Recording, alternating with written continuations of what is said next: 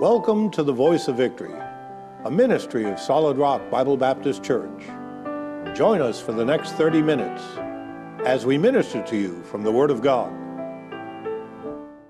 I want to draw your attention tonight, for just a few minutes, uh, to that one word there in verse 20, number 20, and it's the word stead. It says there, in Christ stead. Uh, and it's, you know, it's used in a couple of, we, we oftentimes don't use the word stead today uh, by itself. We use the word instead, which is the same word, really. Uh, and it means the place or room which another had or might have, noting substitution, uh, replacing or filling the place of another. For instance, David died and Solomon reigned in his stead, in, in place of, as a substitute, uh, filling the place of another. Uh, going back to Genesis 4 and verse 25, it says that Adam knew his wife again, and she bare a son, called his name Seth, for God said she, hath appointed me another seed instead of Abel, whom Cain slew. And the first time that you actually find the word by itself, stead, oh, you got to love it. It's in Genesis 22, where it says in Genesis 22 13, and Abraham lifted up his eyes and looked, and behold, behind him a ram caught in the thicket by his horns. And Abraham went and took the ram and offered him up for a burnt offering in the stead of his son. Now, if you know anything about Abraham and Isaac there, you know that Abraham is a type of God the Father, Isaac is a type of the Lord Jesus Christ, and the Bible says it pleased the Lord to bruise him. And so uh, you know the story there that he, they both went up onto the mount, uh, up on Mount Moriah there, and as they went up there, they recognized, or at least Isaac recognized, that they had the wood and they had the fire. They had all the fixings for a genuine sacrifice, except for the sacrifice. and one of the greatest verses, I think, in all the Bible, and many new versions have changed it, but in Genesis 22 and verse number 8, it says, God shall provide himself a lamb. And all the new versions, they like to change that and say, God will provide for himself. Well, he did do it for himself, but he also, see, you could do something for yourself and not be it yourself. The Bible says exactly what God did. He provided himself a sacrifice, he provided himself a lamb. And that's who Jesus Christ is, right? The Lamb of God that taketh away the sin of the world. And, uh, and so, in that sense, it, what it represents is uh, instead of, instead of and this is the beautiful type here, because Isaac was not the lamb that would take away the sin of the world. And, uh, and so God gave a ram, and I, I love this too. I'll just get off on other things. But as Abraham and Isaac were going up this side of the mountain, rams don't live on the top of a mountain. God had to whisper in the ear of that little ram. Uh, get, get up there, hurry up, you've, you've got a meeting up there. And he headed up the other side of the mountain, and there they were, the two of them, the three of them, all going up to the top of Mount Moriah. And there they were up there, and all of a sudden he, that ram got to the top, probably beat Abraham and Isaac up there. And God said, Oh, this stupid ram, he'll probably take off on us. So why don't you take a look? He probably got him to see some whatever. I don't know what. I don't know what would detract a ram. Maybe a, a little ewe ram. and there was a noise that came from the thicket over there, and he went like a stupid. Went over there, next thing you know, he got all tangled up inside there and said, Good, it's a good place for you. Got a couple of guys coming up here. You're going to be the substitute. It could have happened that way, Colleen. but what it turns out to be is a substitute. And you know, what we're talking about here, this instead business, is the doctrine of substitution. God provided Jesus Christ to be our substitute in a variety of ways. I want to give you just a, a, couple of things tonight. As it says here, I beseech you in, uh, uh, we pray you in Christ's stead, be reconciled to God. Uh, this concept or this idea of instead, uh, as a substitute, Jesus Christ did something instead for us. Number one, he bore our sins so that we would not have to. We were lugging around sin from the time that we, David said, I was born in sin and iniquity. And so from the time that we came into this world, we've been sinners. We don't become a sinner when we accumulate a certain degree or a certain amount of sin. Uh, we're born that way. And because we have that kind of sin, we need somebody to, well, you're either going to bear your sin yourself or somebody else is going to have to bear it. And that's what Jesus did. He bore our sins. In 1 Peter 2, in verse 21 to 24, we read, For even hereunto were ye called, because Christ also suffered for us, leaving us an example that we should follow in his steps, who did no sin, neither was guile found in his mouth, who when he was reviled, reviled not again, when he suffered, he threatened not, but committed himself to him that judgeth righteously, who his own self bare our sins in his own body on the tree, that we being dead to sin should live unto righteousness, by whose stripes you're healed. Notice it says there, who his own self bare our sins in his own body on the tree. He bore our sins. He became sin for us. We read it in our text here in 2 Corinthians uh, 5 and verse 21. He was made uh, to be sin for us, who knew no sin, that we might be made the righteousness of God in him. Aren't you glad tonight that somebody else was willing to bear your sins? I mean, think about how crazy that is. The only one that can truly identify physically, personally with this is Barabbas. Barabbas was scheduled to die. He was the one that was going to get nailed to the cross that had, that, well, the cross that Jesus died on had Barabbas' name on it. I don't know if they tagged crosses. Like the night before, they probably had some guy go down there and say, We need, uh, we need three crosses tomorrow. We need a, a big one and a medium one and a little one. And so they went out there and they got the crosses and they probably had a detail to go out there and they put a little, little name tag on each cross. And the one that, G- that Jesus carried had the name on it, Barabbas. It did. And, and Pilate thought, surely this, this mob here before us, they know who Barabbas is. His, his puss is, is on a wanted poster everywhere. Uh, his pictures in the, down at the Jerusalem uh, post office. They know him.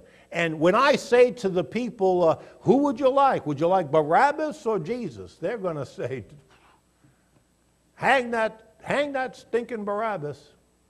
But to everyone, including uh, Pilate's amazement, they said, Barabbas, we want Barabbas.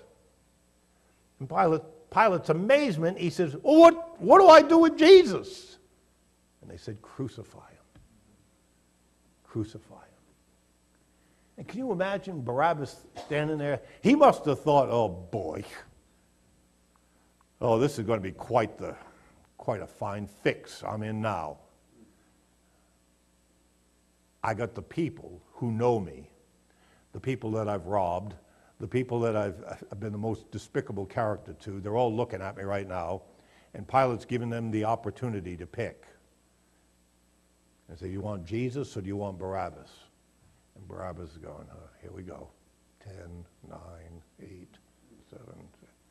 And all of a sudden the crowd is calling for his release. And he said, this can't be happening.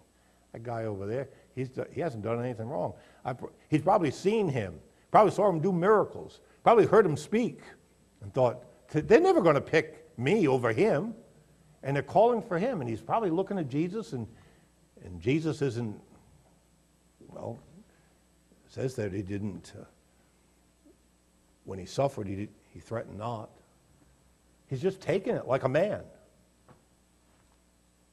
And Barabbas probably walked away as they dragged Jesus off and beat him and spit on him and did all that stuff. And I, I, like to, I really like to believe, I know the Bible doesn't say it, but I really like to believe that Barabbas hung around for the crucifixion.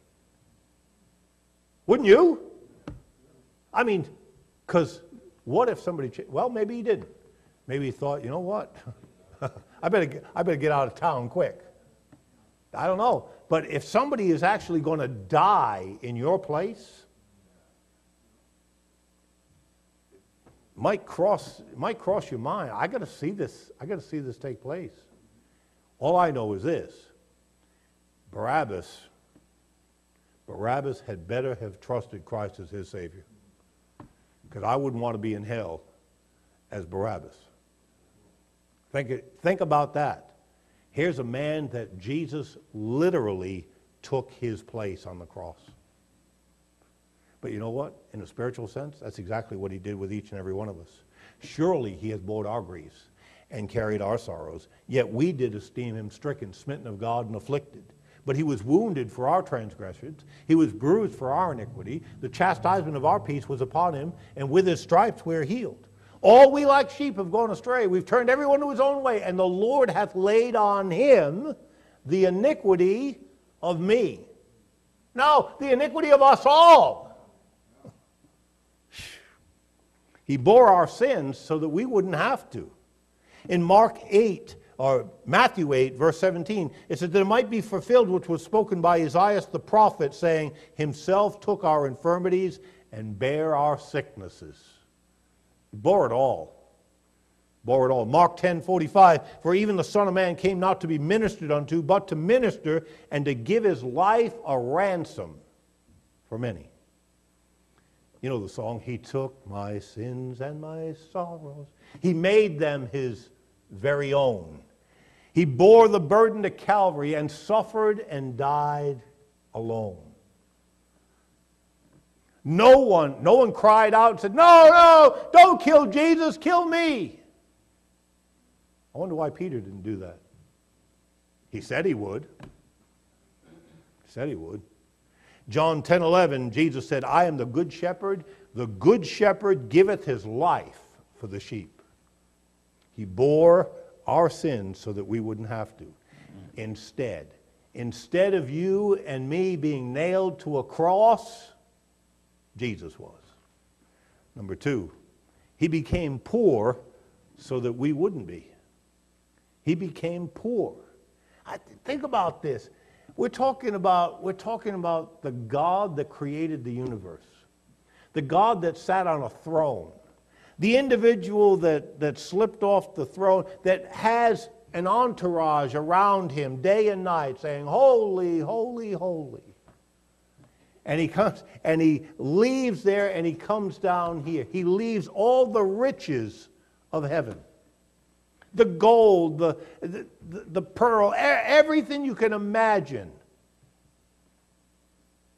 The Bible says in 2 Corinthians 8 and verse number 9, For ye know the grace of our Lord Jesus Christ, that though he was rich, yet for your sakes he became poor, that through his poverty ye might be rich.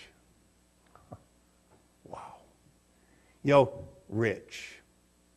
How is that done? He says, For you know the grace. The grace. God's riches at Christ's expense. He gave it all. For God so loved the world that he gave. He gave it all. Philippians 4:19 says, "But my God shall supply all your need according to his riches and glory by Christ Jesus." See, because Jesus was willing to give it all up, I think about that. Would you? The rich young ruler wouldn't. He wouldn't. Oh, he was delighted. He thought, oh boy, this is great. This is great. All these have I kept from my youth. What lack I now? Well, he said, well, why don't you go and uh, sell, sell all you have and give to the poor and come on down, follow me. But he went away sorrowing because he had many possessions. Many possessions. Jesus had plenty of possessions too. He had a whole, he had an entourage, thousands and thousands of thousands of angels just praising him night and day. And he thought, I mean, I know he didn't think about it because my pastor used to say, Did it ever occur to you that nothing ever occurred to God? I mean, he's always operating in, in the. But he said, You know what? I think, I think I'm going to leave all this and go down into that wicked, sin filled world. And I'm going to bear the sins of all those sinners down there. And I'm going to give it all up. I'm going to become poor. The Bible says in Philippians chapter 2, he humbled himself. Yeah, he humbled himself all right more than most of us would ever even dream of humbling ourselves. See, we don't have a whole lot to humble ourselves from. right? We think we're somebody and we're nobody. We think more highly of ourselves than we ought. But Jesus Christ was somebody. Let me rephrase. He is somebody. He's very God. And for him to come here and cloak himself in human flesh and die in our place, how, how much poorer could you get? Became obedient unto death. I think of all the things that Christ did in our stead. He bore our sins so that we wouldn't have to. He became poor so we'd never be. You know, he owns the cattle on a thousand hills. There isn't anything that you and I could ever even dream, why he does exceeding abundantly above all that we ask or think. There's nothing that he can't provide for us if he so desired to do so. And then number three, let me say, instead, he was forsaken so that we would never be forsaken. He was forsaken. You know, one of the, one of the worst things of life, I've uh, been going to the jail for a, a lot of times, and I'll tell you what, what burdens most of these guys the most is that they've been forsaken by the ones they love.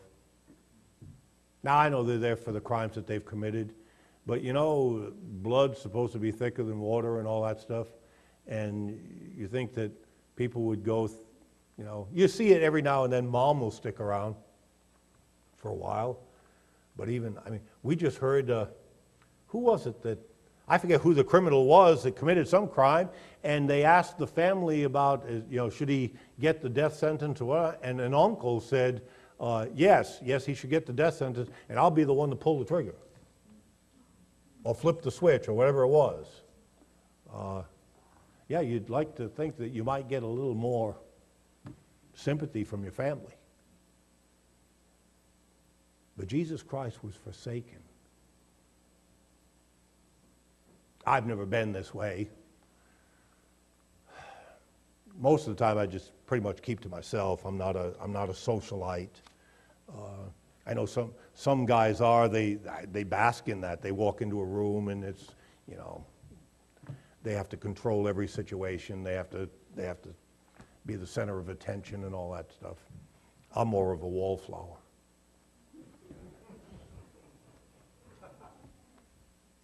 I am. I, am I'm a quiet guy and all that stuff. And, you know. So I'm not accustomed to going places and everybody falling all over me. And when they don't, it doesn't faze me at all. But Think about Jesus. In heaven, I'm not talking about on this earth, but in heaven, everywhere he went, people just praising him. Uh, even in this earth, the people that knew who he was, everyone, they, they would throng him. Everyone wanted to touch him. He said, oh, Jesus, Jesus. You know, like a, a real celebrity. And he gave all of that up he was totally forsaken, even by his own father, so that we would never be forsaken. Remember what David said? David said, When your father and mother forsake you, or when my father and mother forsake me, he said, The Lord will take me up. Matthew 27 and verse 46, about the ninth hour, Jesus cried with a loud voice, saying, Eli, Eli, Lama Sabachthani. That is to say, My God, my God, why hast thou forsaken me? You know, that's from Psalm 22 and verse 1. It was predicted that he would say that. He knew that he would be forsaken even by his own. It says, a Psalm of David in verse 1 and 2 My God, my God, why hast thou forsaken me? Why art thou so far from helping me? And from the words of my roaring. Oh my God, I cry in the daytime, but thou hearest not, and in the night season, and am not silent. There was no help coming for Jesus. Oh, the angels of heaven no doubt wanted to leave and come and rescue Jesus Christ off that cross. But the Father had to stay him. Don't do it. Don't do it. He's, he's doing this for them. As strange as that is, as strange as that is, he was willing to be forsaken Hebrews 11:5 says, "Let your conversation be without covetousness, and be content with such things as you have, for he has said, I will never leave thee nor forsake thee." You believe that tonight? I do.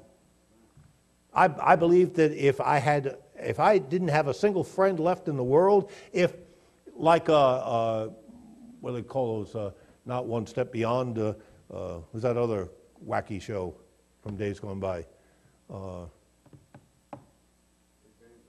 No, no, no, really weird. Uh, not the Outer Limits, the other one. Twilight Zone, that's the one.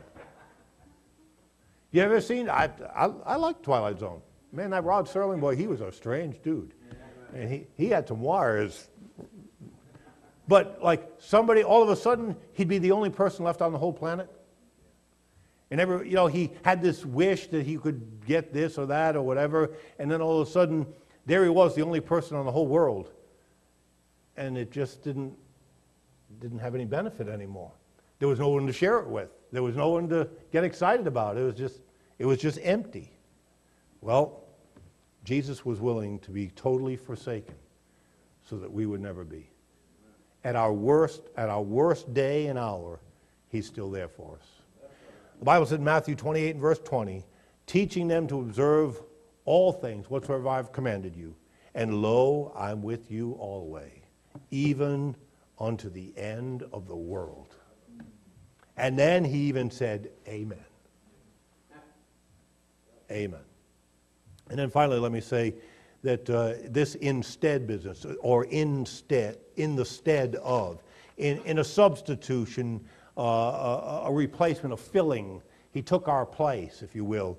Uh, he bore our sins so that we wouldn't have to. He became poor so that we'd never be. He was forsaken so that we would never be without. And then think about this He went to hell so that we would never have to. And I know some people find that a little objectionable, but uh, I'll take my Bible over what you think uh, every day of the week. In Acts chapter number 2, in verse 22 to 31, I'll read. Ye men of Israel, hear these words Jesus of Nazareth, a man approved of God among you by miracles and wonders and signs, which God did by him in the midst of you, as ye yourselves also know, him being delivered by the determinate counsel and foreknowledge of God, ye have taken and by wicked hands have crucified and slain. Whom God hath raised up, having loosed the pains of death, because it's not possible that he should be holden of it for David speaketh concerning him, I foresaw the Lord always before my face, for he is on my right hand, and I should not be moved. Therefore did my heart rejoice, and my tongue was glad. Moreover also my flesh shall rest in hope, because thou wilt not leave my soul in hell, neither wilt thou suffer thine Holy One to see corruption. Thou hast made known to me the ways of life, thou hast Make me full of joy with thy countenance. Men and brethren, let me speak freely unto you of the patriarch David, that he is both dead and buried, and his sepulchre is with us unto this day. Therefore, being a prophet, and knowing that God had sworn with an oath to him that of the fruits of his loin, according to the flesh, he would raise up Christ to sit on his throne, he, seeing this before, spake of the resurrection of Christ that his soul was not left in hell, neither his flesh did see corruption, just like God said he would. Uh, back in, I think it's uh, Psalm 16, 10, somewhere around there, uh, that again, a prophecy about the fact that Jesus would die and that he would go to hell, but he wasn't going to stay there. In Ephesians 4, in verse 8 to 10, the Bible said, Wherefore he saith, When he ascended up on high, he led captivity captive and gave gifts unto men. Now that he ascended, what is it but that he also descended first into the lower parts of the earth? So, for anyone that thinks that hell is the grave, uh, the lower parts of the earth would never constitute six feet under. Amen and amen. Nothing like a Bible to straighten out some foolish cults. Say there is no hell. He that descended is the same also that ascended up far above all heavens.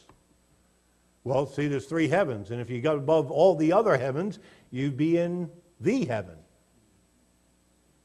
That he might fulfill or fill all things. Hebrews 9 and verse 28 Christ was once offered to bear the sins of many, and unto them that look for him shall he appear the second time without sin unto salvation. Next time you see Jesus, he won't have any sin on him. Remember, we read in our text here in 2 Corinthians 5 and verse 21 he became sin for us. He didn't just get sin lumped on him, he became sin who knew no sin, that we might be made the righteousness of God in him. Well, it says in Hebrews 9:28, well, the next time you see him, when he comes the second time, he's not going to have any sin. And if he descended into the lower parts of the earth, if he went to hell and his flesh wouldn't see corruption there, what, pray tell, do you think he did with our sins? Where do you think he deposited those things? what might be a good place to put the sins of mankind? I'll tell you where I'd put them. I'd put them right in the pit of hell. See, he went to hell so that you wouldn't have to, so that I wouldn't have to. He became sin. He went there. He took my sin. Uh, you say, Where's your sin now? It's gone.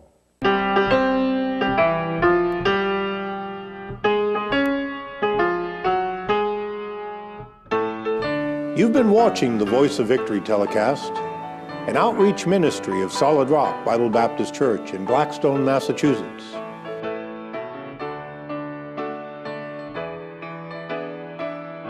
We are an independent, King James Bible believing Baptist church. Our goal is to reach people with the saving knowledge of Jesus Christ our Lord.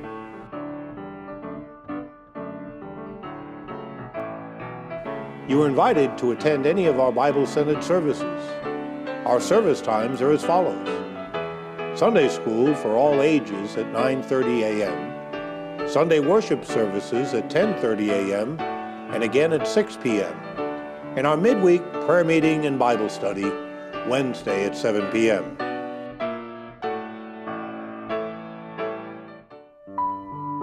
You may write to Solid Rock Bible Baptist Church at 214 Main Street, Blackstone, Massachusetts, or call us at area code 508 883 5302. For additional information about our church, please visit our website at solidrockbbc, all one word, dot com.